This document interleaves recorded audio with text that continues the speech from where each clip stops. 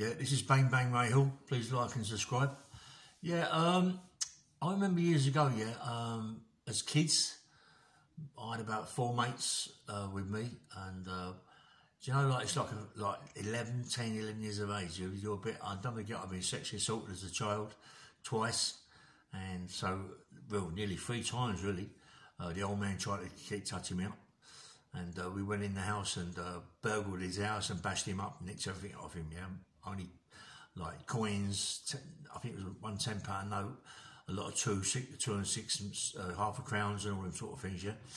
But uh, you know, we thought, God, it's only bad little things. And then we go to Acton Park as kids, as you know, and and and get hold of old men who, who want to touch us up and things like that, and uh, bash them up in the park and nick all their money and all that. And we was like a little gang, you know what I mean? Like a little gang. It was, it was terrible, really. As uh, but all like young kids, and really, I say uh, most of them must have been like me. I don't think must, they've gone through what I went through as, as, as a child, has been sexually assaulted. But a lot of them have been assaulted uh, by by their stepdads or whatever, you know. So we was all very close together, and uh, then you get put away, you know, borstals and all this that and the other.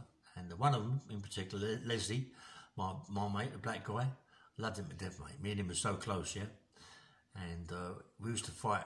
We used to fight all the time, train all the time. Me and him together. We used to train more than the others. The others would like leave it out. Me and Leslie was really close. Train, train, train all the time. Lots of sparring, school, bashing up people. But wasn't really at school? I, I wasn't. He was. I mean, his mum was. Um, you know, she wouldn't stand for that, mate. Uh, and his dad, he wouldn't stand for that. He had to go to school. And Gemma, his elder sister, she'd grass him right up. if he wasn't at school, she'd grass him right up. So Leslie had to go to school. Me, not me, mate. I didn't like it at all. My, even though my mum worked there, uh, she was in the canteen, uh, school dinners, but she used to make some good school dinners, my mum. And she used to spoil me, you know what I mean? But give me the better. Um, even when I was at school, give me the better food, but I wasn't at school much at all. You know, I hated it. I hated school. He didn't do me no favours all I liked was money. I didn't want to count. I didn't want to write about money. I just wanted to, to have it in my hands. Yeah. So things got worse. Anyway, um, we was talking uh, the other day about when I worked at Lucky's. Lucky's. Anybody remember Lucky's at Ealing? And uh, I mean, we had some good times there. Uh, me and Dominic McCoy. Dominic, I like Dominic. I mean, Dominic had it so good in there. He, I mean, you know, I mean, we actually had quite a few fights. I was involved with lots of fights in uh, Lucky's, and uh, I loved it. You know, I loved it because I knew as I, uh, hit them on the chin, mate, they're gone. You know what I mean? And I used to go crazy, go through the club, knock people out all day long. And, and there was a guy called Steve, I think his name is Steve or Billy. Billy, I think, and uh, he was a bodybuilder. He had these massive, massive legs, and what a good looking guy, you know what I mean? Really good looking. And all the birds loved him, mate. The, his legs, they loved his big legs he you know what I mean? I suppose they're thinking big legs, you know what I mean? Anyway, so me and Bill uh, used to stick together. Uh, I remember me and Bill, yeah. We used to stick together, and uh, me and Bill had quite a few fights in it. And I remember that time me and Bill had a fight outside with these guys from the army barracks, and uh, we bashed them right up, yeah. We really bashed them up, me and Bill. And one got away, and I think one clipped Bill and he ran the ear, and he run, mate. But uh, Bill was like a whippet on them legs, mate. He was couldn't, couldn't just he, got, he pulled he pulled the guy back by his hair, you know, because in them days it was long hair.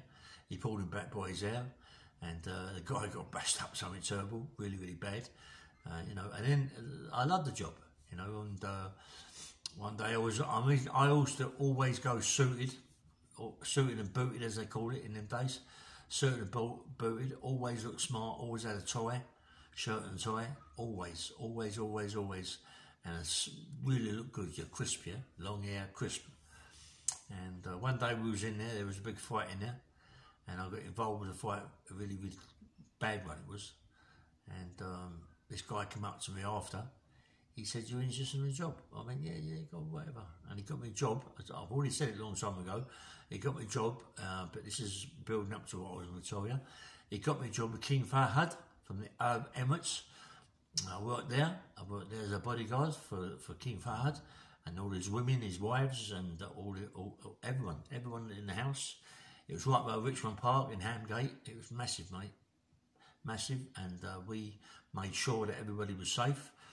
But they had about, I think they had about three uh, special forces in there with guns that used to go around with me where they went, the kids went, they go.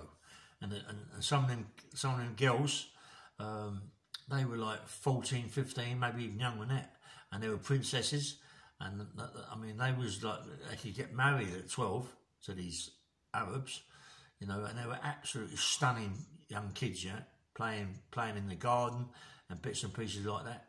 And my job, I used to walk around with the Dobermans, these big Dobermans with cut ears, massive, mate. They were massive. There was two Dobermans. They was absolutely massive. That the way what, twelve stone.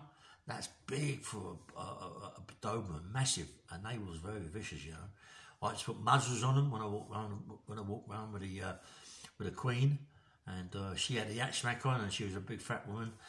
And uh, I used to walk with her and, and, and all the other servants behind her used to run if you they was to run for respect, you couldn't walk. You had to run with, next to her, yeah, a rap, back from her, and she's going to me. She didn't want me in there with the kid with, with the Dobermans. She wanted me to go away, but I had to stay there with the Dobermans. And then and they had this great big lake in there, like a lake, and they had this great big koi carp in there, and um, crikey, just get the herring guns come down and stab the koi carp mate, and they'd be there two days later put more koi, more koi carp in, even though they had this wire on top of it, the koi, the the the the, the herring guys would still come in and do the wire and do the and do the uh, do the carp. why? Because they couldn't get them out, you know. But anyway, um, I love my job, mate. I love the assignment. You get the best food ever. You get best food ever, and it always make me laugh. You know, as the kids, these young shakers and shakes they used to play football in where the where the where the car park is massive, massive car, not in the grass at the back. They want to be round all the cars, and you see him playing football and smashing these balls right, up against these Bentleys and rollers and Ferraris and all these sorts of cars, and you can see these these uh, these chauffeurs cringing, cringing. You know what I mean? Because they're smashing the car up. You know and they get right into trouble for it, you know. But um, anyway, and then I used to see security call coming in there twice, three times a day with big bags of money. They used to go out and spend fortunes, these, these kids. They used to go all the Thorpe Parks and all that and spend loads of money in Harrods, Selfridges, fortunes. I mean, I picked them up from, from Heathrow Airport when I've got the job, and I went to Heathrow Airport and the Arab Emirates uh, big a big four. Was it? I think it was a 404 and whatever it was. It was a massive 704, 7, 740, a big, big plane, yeah? Massive. Jumbo, big jumbo jet up and down, yeah? And we, like, like, picked them up. I mean, picked them up in rollers, all sorts of cars. Very, very uh, unbelievable. He never come. Uh, King Fahd never come. He comes by a special plane uh, to, at um, Northolt Airport special plane, special gunned up. That's the airport that all go gunned up at uh, Northolt. And uh, he, he come there and he was, and when he, when he went, it was all the fucking, all sorts of cars, police side riders, vans, of uh, motorbikes, everything, you know. And I only see him, I see him once um, when I was work there, come once. And these special force guys, these special forces guys was at the front. Uh, they had these handguns, but they looked like some sort of Uzi handgun. And they was at the front with the old Bill. They had Bill had guns, and uh, these these got SAS was all properly proper guns up and everything, you know. And then you see him come in, and they shut the gate behind. And we wasn't allowed. We had to stay back. Uh, I thought we might want to be one of the people who's going to shoot him. But he had a lift. He had a lift. He ain't supposed to drink, yeah. But he had a lift put in, put in his uh, this big massive place, mate. He had lift put in from the from the ground floor to, to his bedroom, but the, uh, and they had the bar at the bottom. And I used to get drunk every night, paralytic drunk, get in the lift and just fall in the lift and get out the other end, and they pull it, put him along, undress him, put him in all his bedroom stuff, and put him in the bed. Wasn't supposed to drink. Wasn't supposed to drink. And one of the girls, uh, one of the princesses there, she was about 18. She was stunning, mate. She was like something you've never known, but she black, long black. She was this, a picture. Uh, she got involved with one of the bodyguards. Um, I don't think it was the SA, one of the SAS Special Forces guy. She, but she got involved with one of the bodyguards, and um, they caught her uh, with one of the bodyguards. The bodyguard guy, don't know what happened to him. I never see him again. He just disappeared. He just disappeared from the planet. I don't know what him. They more like took him away somewhere. Uh, she was took to uh, a big hotel, the back of uh, the back of Harrods, and uh, she was punished uh, where she where she could give her just give her money and she would go with two bodyguards and she could do what she liked, just spend what she liked, but she couldn't go out at night time. That's a punishment. Get as much money as she likes, go in hours with the bodyguards, but she wasn't allowed out at night time. Ain't a bad punishment, is it? you know what our mum dad would have done? And God, what? Anyway, so uh, the, the, the, I love the job. I love the job, but Anyway, before I got the sack, um, there was one special unit guy, uh, SAS guy. He was a bit flashy. He had this thing like a bolt, yeah, like a long, like a long bolt with two nuts on the end, and it was hardened steel. But his nuts was done; they're all cut and done properly, yeah. And he was showing me that they used to hold in their hand like that. And they had one nut there and one nut, one nut at the top, and they'd hit you in the elbows, anywhere in the chest, and all that, and things like that. And uh, I mean, he'd done it a few times for me. God, what you couldn't. I mean, so much pain, and they were so good. These these people, eh, yeah. That's one each hand. Whoa, whoa, like weapons, yeah, special weapons, and it was a bit flesh. And I was like a young fighter, boxer myself, going down the pro gyms and all that, and I wasn't really interested in what he was doing and showing me. He's a couple of times hit, he's hit me on the elbow and, and the legs. pain, absolutely painful, mate.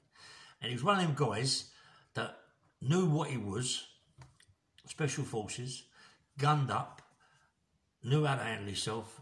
That was a bully. He was a bit of a bully. Well, when I say bit, he was a bully, you know what I mean? He was a walk around, and anyway. One day he, he come in and uh, he got a bit low with one of my mates. Uh, well, this guy, this guy was security. I mean, really a nice, nice guy that didn't say nothing to no one. He kind of bossed him on the arm and this, that, and the other, and the guy was in pain. And I said, why don't you behave yourself, mate? You're special forces. We all know what you are. We all know you carry guns and you've got these things. Just behave yourself. You ain't got to prove it to no one. He came over to me. He went, listen, if I was you, I'd keep your mouth shut, mate. He said, because, like, you know what happens, don't you, people like you? He said, and we get away with it and nothing will happen? Do you know what I mean? I went, okay, mate. So He went, listen, see this, you come, bump, hit me on elbow with this thing on, crack! I I hit him with his left hook, mate.